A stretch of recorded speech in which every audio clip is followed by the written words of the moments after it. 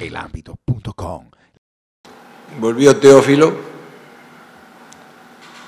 este, que no había estado. Y la sonrisa de Julio Comesaña también. El de la Chinita reapareció en cancha con la roja y blanca y obviamente el fútbol alegre de Junior brilló en todo el gramado del Roberto Meléndez.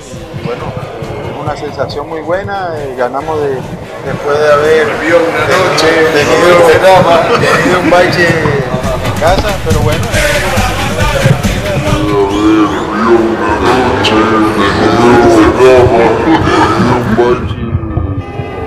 Volvió una noche, no la esperaba. El Colombo uruguayo no tiene dudas que cuando Teo está en cancha, todos los circuitos se activan y Junior gana. Y para la muestra, un botón, ya que con el atacante pisando el gramado, los tiburones han conseguido tres triunfos y cuando estuvo ausente, pues los barranquilleros salieron con la cabeza abajo. Creo que mejoramos en la eficacia, en la creación de oportunidades de gol y mejoramos en la, en- en la posesión de la pelota, en, en encontrar la tranquilidad para buscar asociarnos y eso.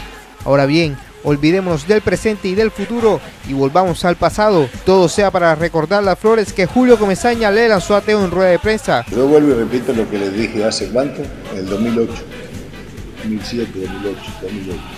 Teófilo Gutiérrez es el mejor atacante que ha dado el fútbol colombiano en los últimos años, el más completo de todos. El dominio de la función de Teófilo Gutiérrez como centro delantero, ningún jugador de este país hace eso, ninguno. No, hombre.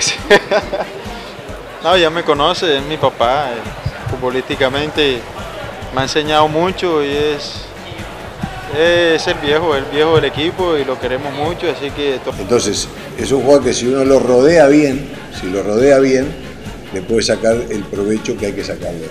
Pero dele la pelota y va a ver cómo las cosas funcionan.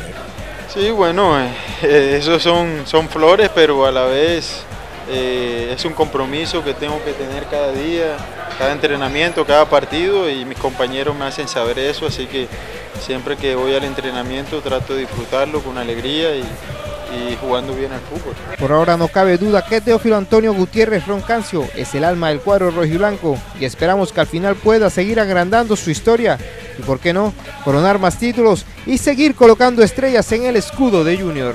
George de la Hoz, elambito.com. elambito.com.